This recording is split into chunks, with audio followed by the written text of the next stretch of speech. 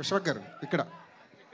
Sir. Sir మీరు ఎప్పుడు కనిపించిన స్టేజ్ మీద ఆడిటోరియం మొత్తం జై ఎన్టీఆర్ అంటూ ఒక వైబ్రేషన్ ఒక కనిపిస్తుంది. అవును సార్.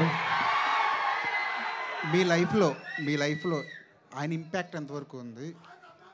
ఇంపాక్ట్ డెఫినెట్లీ ఆయన అంత గొప్ప నటుడు కావాలని ఉంటుంది సార్. మోర్ దెన్ అందరూ అందరూ అతన్ని స్టార్ అని అంటారు కదా అందరికంటే నాకు ఇండియాలో నాకు తెలిసి అందరికంటే గొప్ప నటుడు ఆయన దా- దానికి ఫ్యాన్ నేను. More than a star is a great actor for me.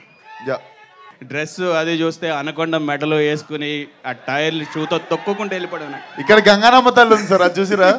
ఉంది గంగమ్మ తల్లి ఉంది. కానీ దానికంటే ముందు. అనకొండ అనేది ఒకటి ఉంది. దాని టైర్లు తొక్కుకుంటూ వెళ్ళిపోయానా. క్యారెక్టర్ కూడా అలాగే ఉంది టీజర్లో. ఈ క్యారెక్టర్ కోసం మీరు ఎంత హోంవర్క్ చేశారు? అంటే ఇప్పటివరకు చెయ్యని క్యారెక్టరు కొంచెం డిఫరెంట్గా ఉంది. హోంవర్క్ అంటే మెయిన్ స్లాంగే సార్. స్లాంగ్ అస్సలు డెఫినెట్లీ మాట రావద్దు.